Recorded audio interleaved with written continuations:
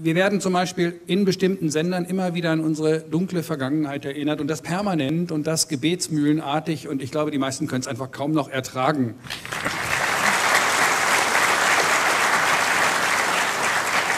Aber eins ist doch ganz definitiv.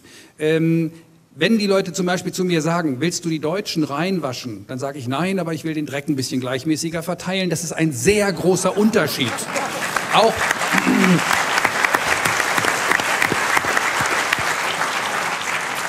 Auch in meinem Geschichtsverständnis schneiden die Deutschen in vielen Fällen nicht besonders gut ab. Zum Beispiel zur Zeit.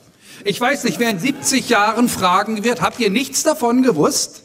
Ich weiß nicht, wie wir dann antworten sollen. Wir haben es gewusst. Wo ist der Unterschied der Propaganda von heute gegenüber damals? Das Problem ist, wir glauben mit unseren komischen Pseudowahlen, diese Lachnummer, die alle vier Jahre stattfindet, dass wir tatsächlich neue Politiker wählen. Und wer das nicht mag, der kriegt noch den Kopf geschmissen nach dem Motto, wie kannst du dich denn aufregen? Du hast ja nicht mal gewählt. Ja, wen denn? Ich wähle doch nur Leute, die auf meine Koste Karriere machen können und letztendlich trotzdem ganz andere Interessen vertreten. Auch das ist die Realität. Wissen Sie, warum bei uns die Nahrungsmittel im Verhältnis noch so billig sind? Ich sage nicht Lebensmittel, ich sage eigentlich Nahrungsmittel, um das Wort Füllstoff zu vermeiden. Ähm, ähm,